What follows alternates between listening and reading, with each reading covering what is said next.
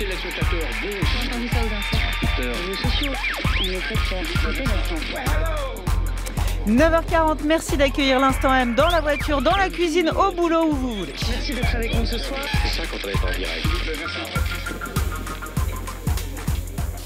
Comme beaucoup d'entre vous, on m'a lu Pomme d'Api quand j'étais petite. Je l'ai lu ensuite à mes enfants. Ce n'est pas faute pourtant d'avoir râlé contre Petit Ours Brun, la star d'Écosse, la hantise de leur maman. De Mimi Cracra à Sam Sam, le magazine fête ses 50 ans, monument de la presse enfantine qui a porté très haut les couleurs de l'illustration. Plongé au cœur d'un rapport texte-image plus élaboré qu'il n'y paraît. Agnès Turquin-Rochefort, bonjour. Bonjour.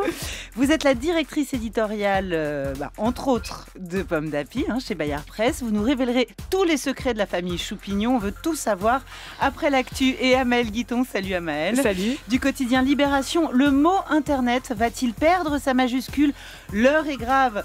Tout fout le camp, sauf Petit ours brun. L'instant M. L'actualité des médias sur France Inter.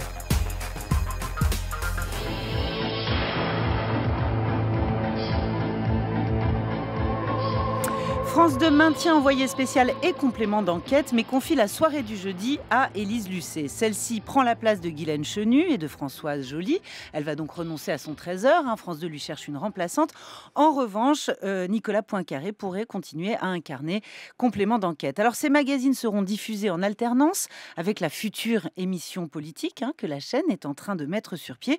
Sinon, bah, je vous propose de réécouter sur notre site ou en podcast Catherine Neil hier dans l'instant M, expliquant que l'investigation n'est pas un genre fait pour la télévision. La preuve, Cache Investigation, leader hier soir sur France 2. TF1 n'était avec Arthur qu'en troisième position. Le sénateur David Assouline l'avait annoncé dans l'instant M. Audrey Azoulay, ministre de la Culture, le confirme dans le Figaro. La loi sur l'indépendance des médias empêchera dorénavant qu'une chaîne de la TNT soit revendue moins de 5 ans après son attribution à un opérateur. En ligne de mire, évidemment, le scandale provoqué par la chaîne numéro 23. En outre, la ministre va plus loin que le CSA dans sa recommandation sur la publicité commerciale, vous le savez, hein, à laquelle s'ouvrent nos antennes. Elle restreint la pub à France Inter, France Info, France Bleu, exit donc le Move. C'est pas le Move, c'est Move. Et il va falloir que je m'y fasse, Amael. Et oui, et oui. Amel, la vénérable agence de presse Associated Press, dite AP dans notre jargon, risque de révolutionner l'Internet. Tout ça pour une lettre. Tout ça pour une lettre. Et oui, la prochaine version de son stylebook, hein, son lexique et guide typographique, va écrire le mot Internet sans i majuscule. Ça vaudra aussi pour le mot web, plus de W capital, donc à Mhm. partir euh, du mois de juin. Ça a l'air anecdotique, mais euh, ce guide, c'est une référence pour beaucoup de journaux américains. hein. La question, c'est de savoir si les dictionnaires vont suivre, comme ça a Mhm. été le cas pour euh, beaucoup de règles édictées par AP. En tout cas, cette coquetterie typographique traduit en fait à elle toute seule un vaste et vieux débat. Hum, On, on brûle de savoir.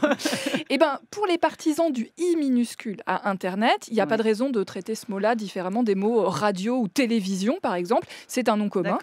Euh, pour ceux qui tiennent au i en lettres capitales, ça permet de différencier l'Internet, le réseau mondial qu'on utilise tous ou presque, d'un Internet au sens euh, générique, un internetwork, un réseau de réseaux.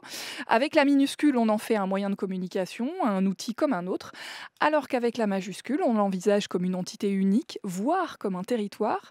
Pour certains, c'est même une manière de lui garder sa part d'utopie, hein, comme quand le net était cette nouvelle frontière à défricher. Pour d'autres, ça revient à le sacraliser, et d'ailleurs, c'est encore plus flagrant en français. Les anglo-saxons disent the Internet, mais Oui. chez nous, bah, selon l'humeur, ça va être l'Internet ou plus souvent Internet sans article défini, comme un nom propre ou comme Dieu. Carrément. Eh oui. Bien. Alors du coup, majuscule ou pas majuscule, Internet ou L'Internet, je sens que vous avez du mal à trancher. Alors, si j'en crois le petit Robert, consulté hier soir, hein, du coup, quand même, on peut faire un peu ce qu'on veut, ce qui nous avance pas beaucoup. Euh, L'Académie française est plus stricte. Elle recommande l'Internet avec un petit i depuis euh, 1999, mais manifestement pas grand monde ne l'écoute. Euh, alors, j'avoue que je suis assez partagée parce que écrire l'Internet plutôt que Internet, ça paraît logique. hein, ça n'est ni un nom propre ni une divinité. Sans blague. Voilà, mais c'est bien un réseau mondial et c'est aussi cette histoire-là hein, que raconte la capitale. Alors je trouverais assez triste de l'abandonner. Et en même temps, quand on voit comment certains pays censurent le web, quand on voit aussi comment l'accès au réseau est de plus en plus structuré par les géants du net ou par les applis mobiles, c'est clair malheureusement que cette belle idée d'un même réseau pour tous, elle a du plomb dans l'aile. À se demander si euh, George W. Bush n'avait pas un peu raison. En 2004, il avait ajouté un pluriel, les internets. Ça avait fait marrer tout le web. Bah oui, il Euh, était mais là c'est- risé Eh à oui. ce moment-là, c'était encore une bourde. Voilà, mais c'était euh, assez prémonitoire finalement. Merci beaucoup, Amael. Bon, alors, il est l'heure de retrouver Petit Ours Brun. Euh, nous avons annoncé notre sujet, euh, euh, cher invité, hier soir sur France Inter, et puis également ce matin, puis également sur Twitter, et ça a déclenché une avalanche de messages d'auditeurs. Ça arrive assez peu souvent, mais ça rappelle beaucoup de souvenirs à beaucoup, beaucoup de monde. Bernard, non, Anne, c'est Anne qui nous écrit d'ailleurs qu'elle est abonnée au premier, depuis le premier numéro de Pomme d'Api, qu'elle l'a conservé, celui où David et Marion cueillaient des jonquilles. Vous nous l'avez apporté, magnifique, le premier numéro de Pomme d'Api. Voilà, Pomme d'Api a 50 ans. En 1966, la presse pour les tout petits, elle était quasi inexistante. C'est une histoire qu'on va vous raconter. Aux enfants, on lisait ces albums restés cultes et aujourd'hui réédités. Sonia De Villers, l'instant M. Père Castor, raconte-nous une histoire.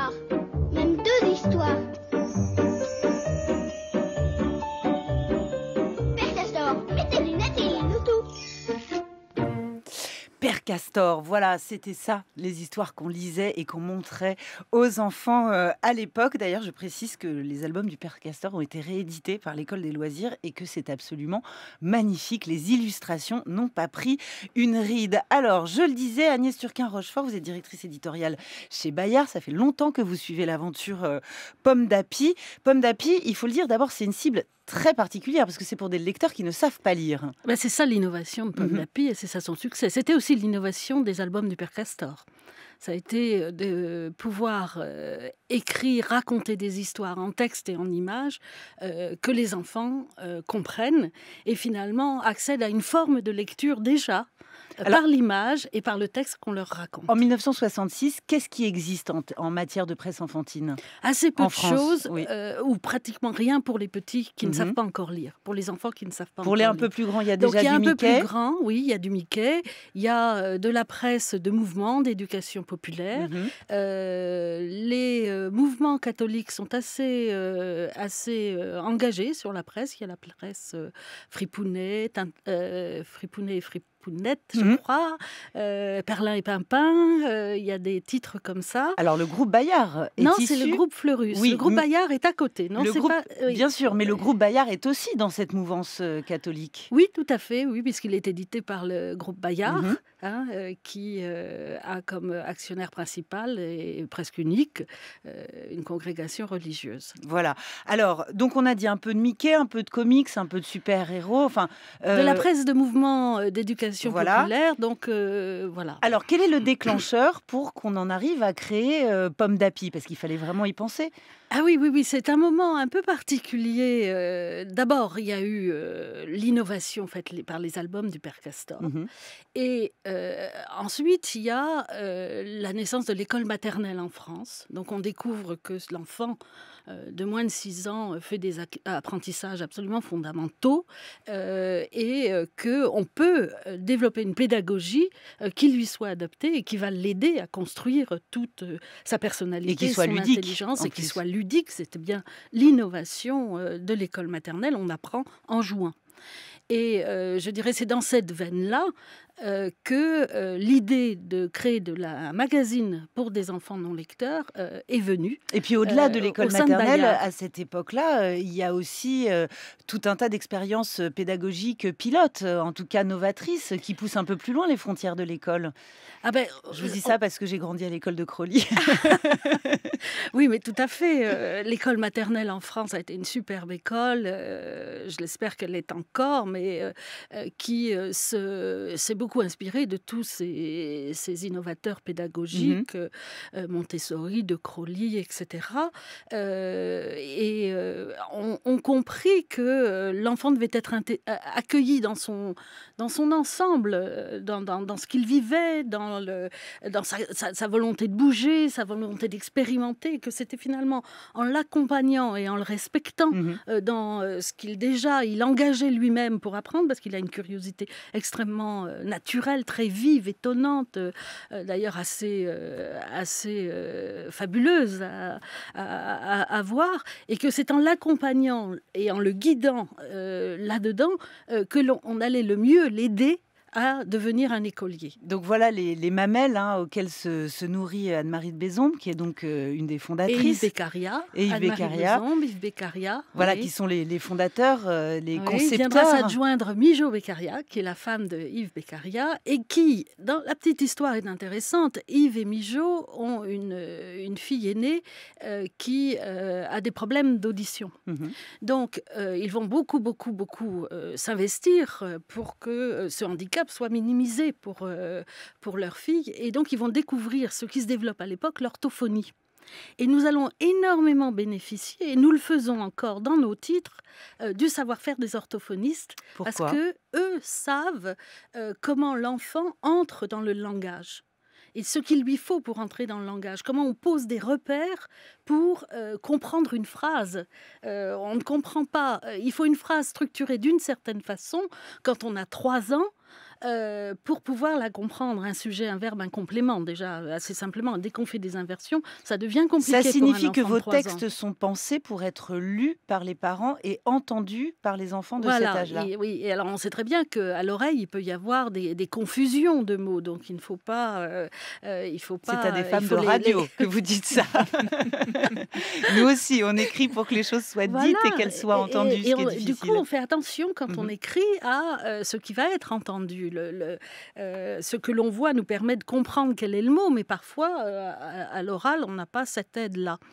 Et euh, alors, l'oral. c'est très étonnant parce qu'on fait un, un magazine donc avec de l'écrit, il y a Mhm. du texte, euh, mais euh, il va être lu, c'est-à-dire que le lecteur final, qui est l'enfant, euh, va entendre son magazine. Et donc on va tout faire, un, pour qu'il comprenne bien, donc les structures de phrases, pas d'incises, euh, euh, pas, pas de, de, de- de quiproquo dans les mots, pas de longueur, etc. Mais on va aussi travailler le texte pour que le parent ait une espèce de simplicité, de fluidité à le lire. euh, va pouvoir reprendre son souffle. Là, vous venez de voir, je reprends mon Mhm. souffle, mais ça, c'est pas bien. Il vaut mieux faire ces phrases de telle sorte qu'on puisse respirer régulièrement. Donc, on va avoir, par exemple, dans nos textes, on va les, les- on va les construire avec ce qu'on appelle des groupes de souffle. C'est-à-dire qu'il y a un sens, euh, une phrase, un bout de phrase qui a un sens. On peut reprendre sa respiration, on continue, ça fait sens, on prend sa respiration. Et puis il y a face à l'image, qui est évidemment indispensable et central, un grand grand travail des illustrateurs Ouais. depuis les origines de Pomme d'Api, ces petits héros auxquels euh, l'enfant doit pouvoir s'identifier tout de suite. Hum, mais ça sent rudement bon ici. Qu'est-ce que c'est, maman Ah non, tu ne vas pas te brûler maintenant. Le déjeuner n'est pas encore prêt. Bon, je vais préparer le dîner. Tu es sage, petit ours Promis, maman chérie. Aujourd'hui, Maman Ours va chercher le pain avec son petit ours brun. Est-ce que par hasard mon petit ours aurait envie d'une part de tarte aux pommes? Aujourd'hui, petit ours brun et son papa partent se promener tous les deux. Eh bien, vous savez quoi Petit ours brun qui est né 10 ans, hein, en réalité, après Oui. Pomme d'Api. hein. Oui, il oui. est arrivé en 75, il est arrivé la, la même année que moi euh, sur Terre, donc on a vraiment grandi ensemble tous les deux. Aujourd'hui, il fait 64 millions de vues sur YouTube. Eh oui. 64 millions, c'est la troisième chaîne YouTube en France. Voilà. C'est Petit ours brun. Qu'on se le dise. Alors, les mamans ne lui disent pas merci parce qu'elles en ont marre de se voir avec un tablier en train de faire de la tarte aux pommes pendant que papa ours et petit ours vont faire de la trottinette, de l'escalade et des promenades Non, en vous forêt. exagérez. Ah bon? Vous exagérez. Je crois que ça fait très longtemps que j'ai pas vu maman ours faire, le, euh, faire la cuisine.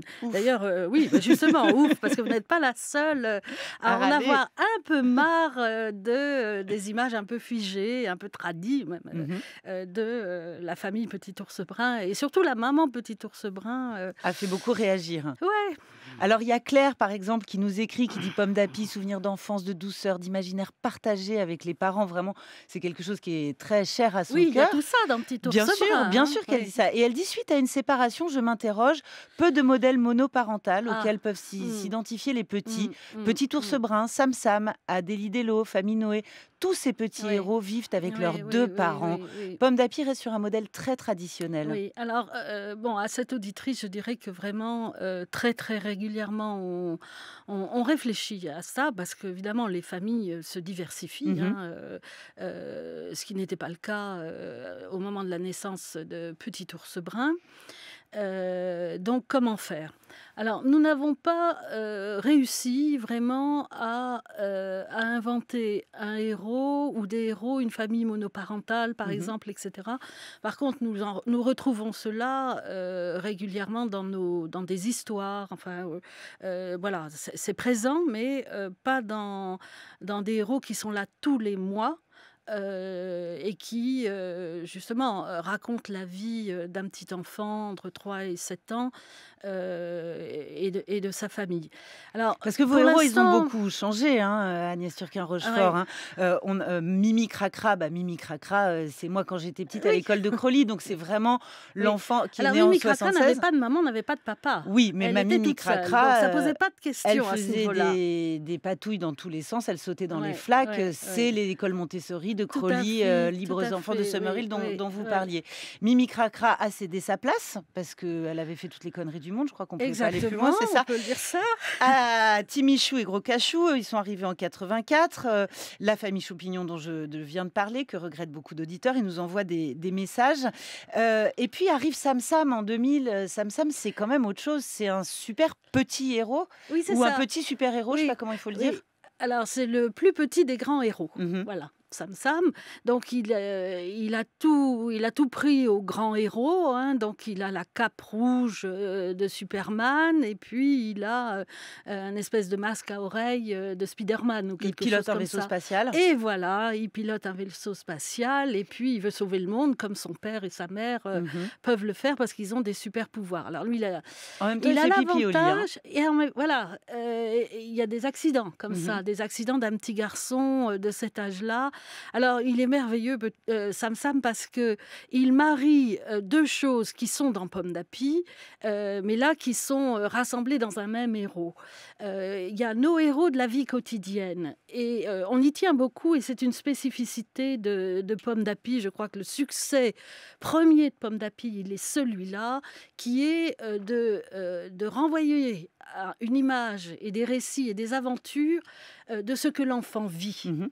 À cet âge. Voilà. Et, on lui dit quelque chose de très fort à ce moment-là. On lui dit ce que tu vis est important et euh, ce que tu peux mettre aussi des mots sur ce que tu vis, etc. C'est une vraie aventure, la vie. Et la tienne est une vraie aventure, pleine et entière. Et donc, elle mérite euh, des petits héros, un dessin animé, un magazine. Et puis, il y a tout ce qui est de l'ordre de l'imaginaire. Et euh, Sam Sam, lui, il, il, il va aller vers cet imaginaire qui est dans la tête des enfants, et notamment ce rêve de toute puissance, d'avoir des super-héros, d'être le maître du monde, d'aller sauver, etc., de, de, euh, de- de lutter contre les mauvais, les méchants, les marchiens. Alors, il y a une expo itinérante des 50 ans de Pomme d'Api. Ça, évidemment, je vous conseille parce que c'est une très belle histoire de l'illustration. Pomme d'Api. Donc, ça fait de très, très belles planches à voir et à revoir. Ça va se balader un peu partout en France. Il y a quatre numéros anniversaires en kiosque. Dont une couve Petit ours brun et une couve euh, Sam Sam. On aura parlé, euh, on aura parlé des deux. Et puis, bah, vous revenez quand vous voulez, Agnès Turquin-Rochefort, et puis vous nous racontez comment vous aurez réussi à faire avancer ces petits héros vers une famille qui ressemble peut-être un peu plus à celle de nos auditeurs et de vos lecteurs.